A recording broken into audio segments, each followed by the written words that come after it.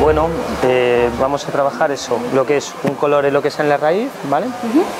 Un tono intermedio, con una degradación en la punta hacia unos tonos algo más claros. Combinaremos el efecto un poco más claro con, con el efecto que va un poco en raíces. Esa combinación es efecto un poco más deslavado en puntas, para que se vea una zona un poco más irregular y no se vea un color más uniforme.